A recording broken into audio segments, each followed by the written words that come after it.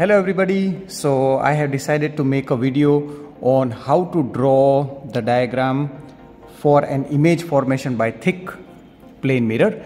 Ideally you should all draw this diagram with pencil but still I am accepting this as a challenge and without using or without using the eraser and making uh, any mistakes I would be trying to draw as good as possible. So let me start the timer and the timer has started. Now let's draw a thick plane mirror first.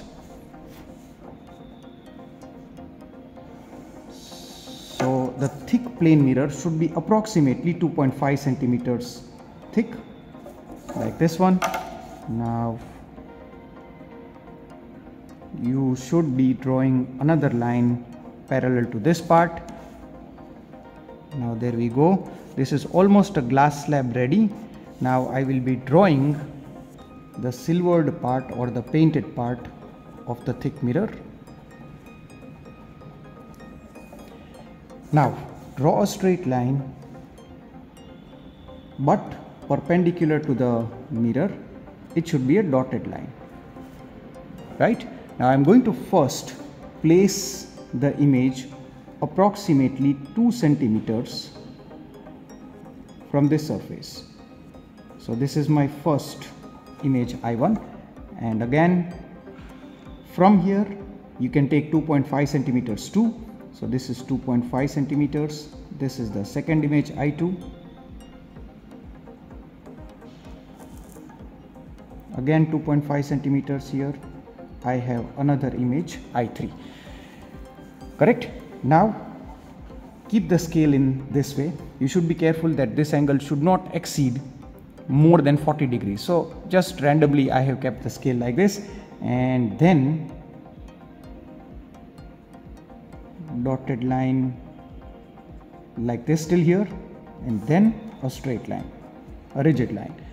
Now again dotted line like this I should be careful that another line should be exactly parallel to this line.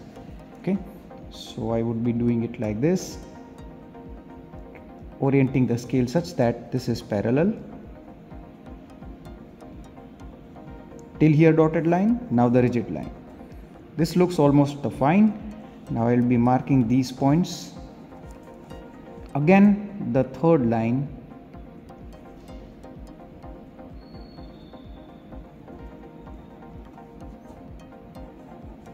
Like this.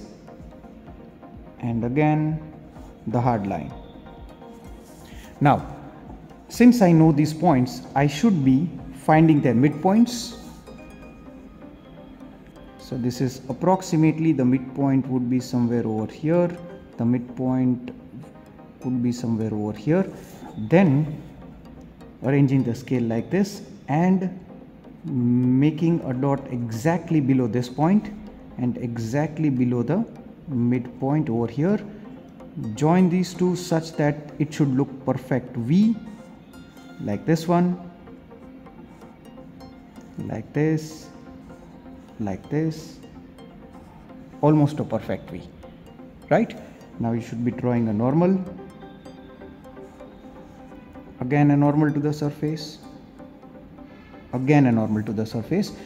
Now I have not drawn the object first. You could have noticed.